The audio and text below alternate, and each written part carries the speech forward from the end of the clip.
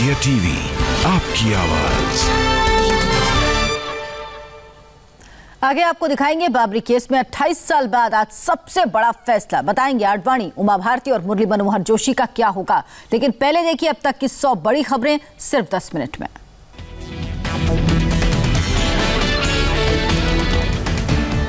Babri case में लखनऊ की विशेष अदालत आज 28 साल बाद सुनाएगी फैसला। बीजेपी नेता आडवाणी जोशी समेत कुल 32 आरोपी कटियार चंपत राय समेत कई आरोपी लखनऊ पहुँचने लगे हैं।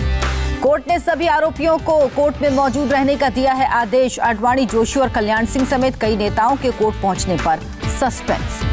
कोरोना के कारण अस्पताल में भर्ती हैं कल्याण सिंह और उमा भारती। उमा ने कहा, कोर्ट में मौजूद नहीं रह पाऊँगी। आडवाणी और जोशी की उम्र बहुत ज़्यादा। आरोपियों में शामिल महंत नृत्य गोपाल दास भी कोरोना से उबर उबर रहे। कोर्ट में सुरक्षा के कड़े इंतज़ाम। सीबीआई ने बाबरी केस में 48 लोगों के खिलाफ तय किए थे। आरोप ट्रायल के दौरान 17 लोगों की मौत हुई थी। मथुरा के सिविल कोर्ट में आज श्री कृष्ण जन्मभूमि को लेकर सुनवाई। याचिका में मांगा तेरह दशमलव तीन सात एकड़ की पूरी ज़मीन पर पूरा मालिकाना हक। याचिका में श्री कृष्ण जन्मभूमि परिसर में शाही ईदगाह मस्जिद हटाने की मांग श्री कृष्ण विराजमान की तरफ़ से दो वकीलों ने दायर की याचिका। लोगों के भारी विरोध के बावजूद गैंगरेप पीड़ित लड़की का हाथरस में आधी रात के बाद अंतिम संस्कार, पुलिस ने नहीं मानी सुबह अंतिम संस्कार कराने की घर वालों की मांग। गैंगरेप पीड़ित के घर वालों ने रात को अंतिम संस्कार से किया था इनकार, पुलिस के साथ हुई नोकझोंक। पुलिस ने पीड़ित के शव को उसके घर तक नहीं जाने दिया घर वालों की चीख पुकार का नहीं पड़ा कोई असर। पीड़ित के गाँव वालों ने एंबुलेंस का किया घेराव। एंबुलेंस के सामने खड़ी हो गई महिलाएँ।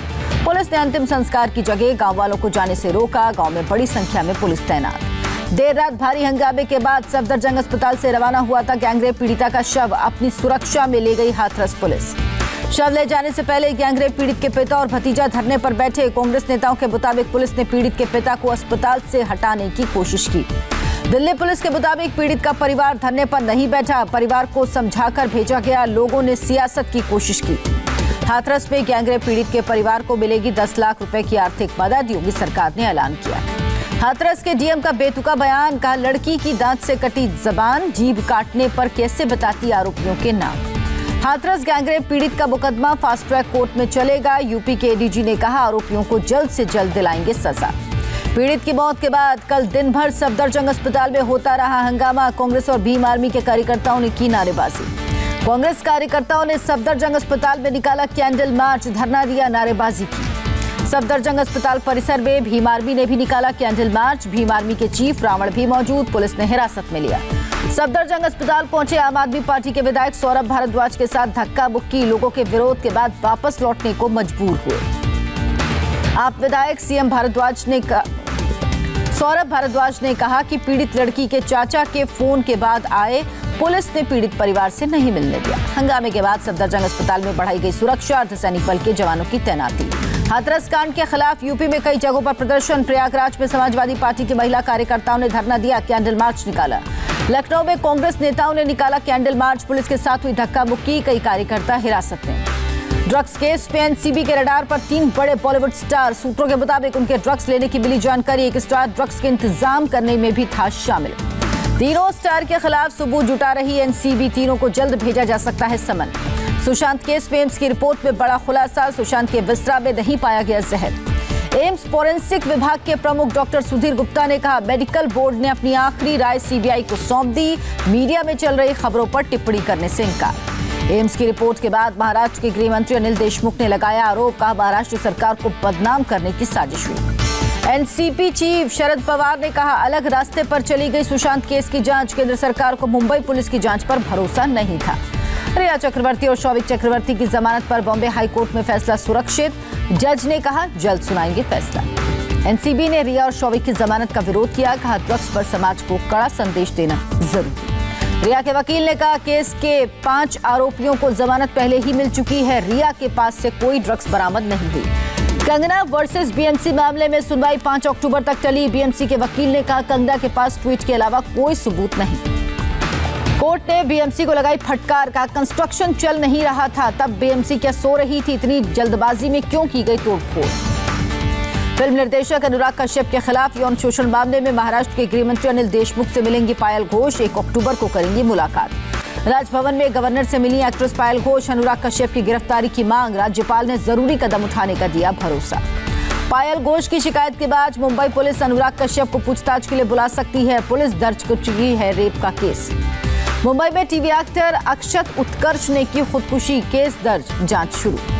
लुफ्तांसा एयरलाइंस ने 20 अक्टूबर तक भारत जर्मनी की सभी उड़ानें रद्द की। डीजीसीए से चल रहा था विवाद। सरकार ने एमनेस्टी इंटरनेशनल के आरोपों को खारिज किया। राज्यवर्धन सिंह राठौड़ ने कहा, संस्था देसी हो या विदेशी, कानून का पालन करना होगा। विदेश मंत्रालय ने एलएसी को लेकर चीन का दावा खारिज किया। कहा, उन्नीस सौ उनसठ वाली चीनी एलएसी की परिभाषा कभी स्वीकारी नहीं। विदेश मंत्रालय ने कहा, चीन से समझौते पर कायम रहने की उम्मीद एलएसी पर आगे कदम नहीं बढ़ाएगा चीन। Air force air chief marshal R K S. Bhadauria का बड़ा बयान, कहा एलएसी पर तनावपूर्ण हालात, नो वॉर, नो पीस जैसी स्थिति। एयरफोर्स चीफ ने राफेल की तैनाती को बताया अहम, कहा हमारी ताकत में इजाफा हुआ। छह अक्टूबर को टोक्यो में जमा होंगे कई देशों के प्रतिनिधि, जापान, अमेरिका, ऑस्ट्रेलिया, भारत के विदेश मंत्री करेंगे चर्चा।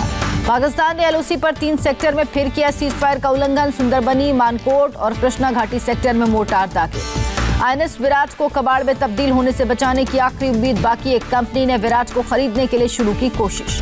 मिजोरम में अवैध हथियारों की बड़ी तस्करी रोकी गई। बीएसएफ ने तीन आरोपियों को किया गिरफ़्तार।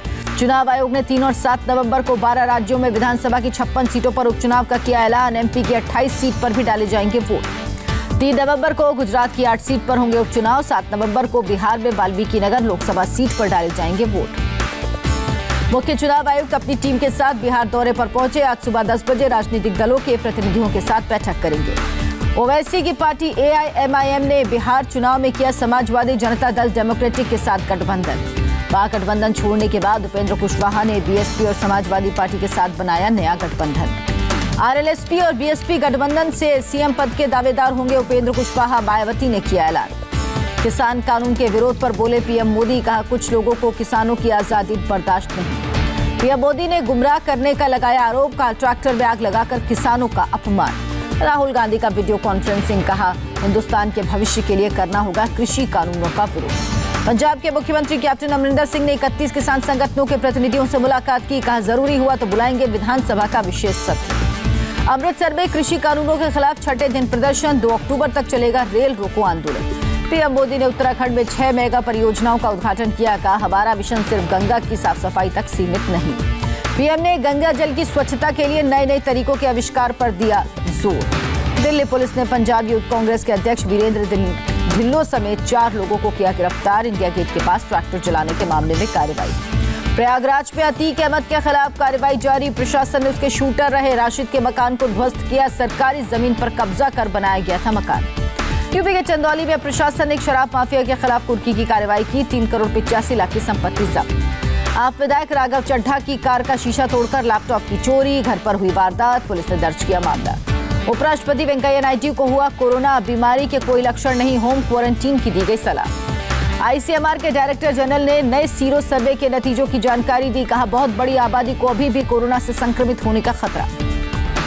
देश में कोरोना केस बासठ लाख के पार 24 घंटे में सामने आए अस्सी हज़ार चार सौ बहत्तर नए केस, एक्टिव केस की संख्या नौ लाख चालीस हज़ार। देश में कोरोना से मरने वालों की संख्या सत्तानवे हज़ार के पार, एक दिन में एक लाख एक सौ एक हज़ार एक सौ उन्यासी लोगों ने दम तोड़ा।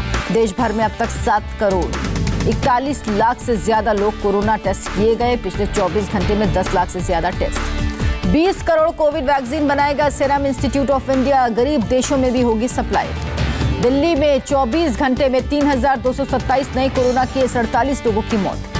दिल्ली के डिप्टी सीएम मनीष सिसोदिया का कोरोना टेस्ट नेगेटिव अस्पताल से छुट्टी मिली। यूपी के बागपत में ईस्टर्न पेरिफेरल एक्सप्रेसवे पर दर्दनाक हादसा ट्रैंकर से टक्कर के बाद कार में लगी आग चालक की जलकर मौत। गाजियाबाद में हथियारबंद बदमाशों ने ज्वेलरी शॉप में की लूटपाट लाखों का सोना चांदी लूटकर फरार। अमेरिकी राष्ट्रपति ट्रंप और जो बाइडेन के बीच पहली प्रेसिडेंशियल डिबेट जारी, कोरोना वायरस समेत कई मुद्दों को लेकर दोनों नेता आपस में भिड़े। हैदराबाद सनराइजर्स ने आईपीएल सीज़न 13 में दर्ज की पहली जीत, दिल्ली कैपिटल्स को 15 रन से हराया।